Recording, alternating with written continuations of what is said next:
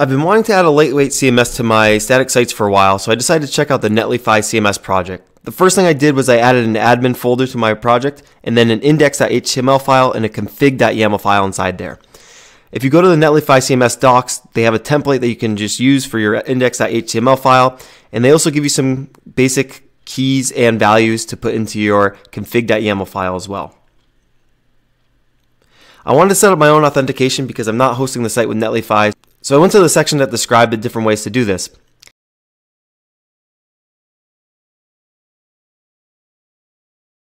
If you scroll down on that page, you'll see that there's a Node.js application with a link to the repository. So the first thing I did was clone this repository locally.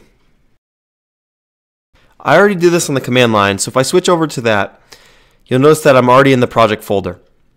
If I list the files in here, they should mirror what you see on the GitHub repository. The next thing I did was I went to Heroku so I could set up a free app. I needed to install the Heroku command line tools in order to do this. So I added the repository, and then I ran the curl command that they specified.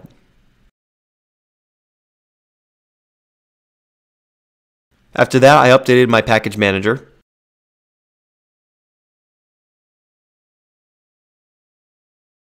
And then I was able to install the Heroku command line tools from the repository that we added.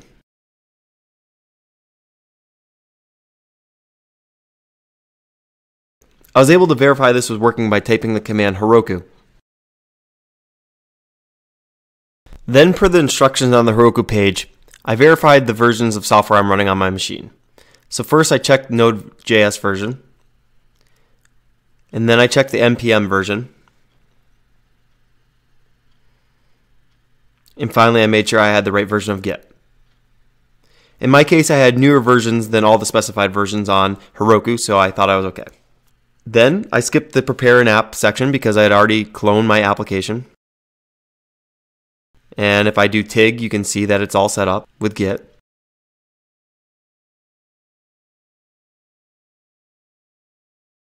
I made sure to create the Heroku project. And then I spent a little time trying to remember my credentials to Heroku.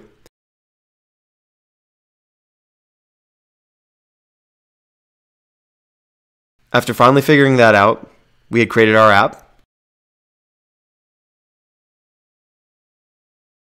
And then I was able to push to Heroku.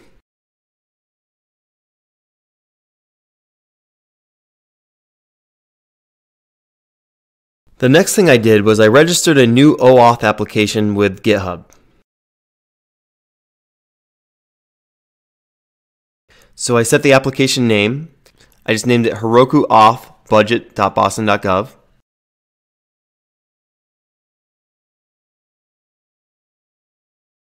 Then I ensure that the instance is running. And I went to the actual URL for the instance. And it looked like it was working. So I grabbed the URL from the web page and it wasn't working since it wasn't actually connected to the OAuth app yet.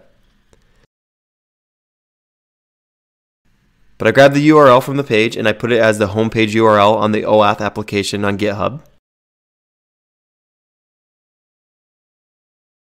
I left the optional description blank and then I put the callback URL, which is just the app URL forward slash callback. And you can verify that by going to the application. Notice that there's no error.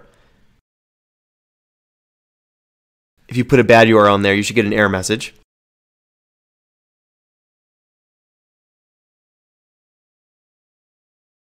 And then I registered my application. And that exposes the client ID and the client secret, which is needed for the final step of the setup.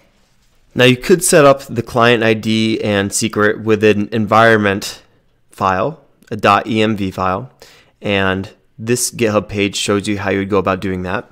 It would look something like this. But what I ended up doing was I actually used a Heroku command line command from this post here to set the ID and the secret on Heroku. And that way it's not put into version control, which wouldn't be secure. So I ran that command and it seemed to set it up okay.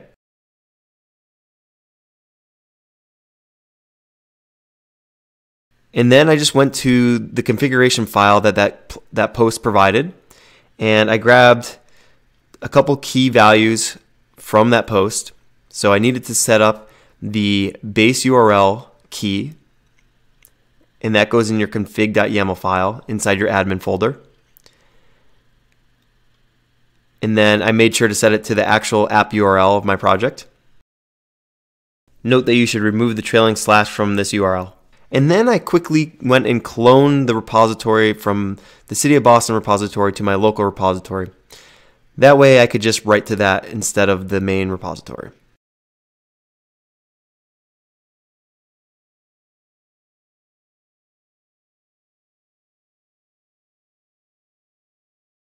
Once that was set up, locally I set up a new remote for that repository on my own personal GitHub page.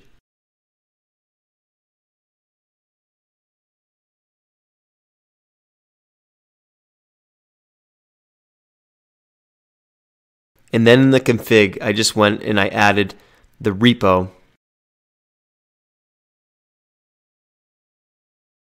and used the namespace of my personal repository.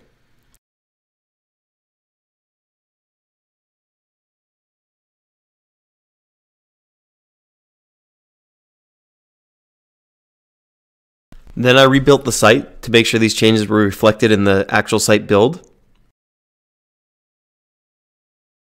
And when I went to my local project forward slash admin, I was presented with the Netlify CMS login screen. But every time that I tried to actually log into it, I was getting these post errors, the 404 not found. Basically, what was happening is I had accidentally set up in my config.yaml file a name of Git Gateway, which is actually looking to Netlify for the repository. So I needed to change this to GitHub manually. Then when I reran the build, and I went and actually visited my site, I was finally presented with the actual authentication to GitHub using the app that I had set up on Heroku. Then I was given this pop up dialog, and I authorized it with my GitHub account.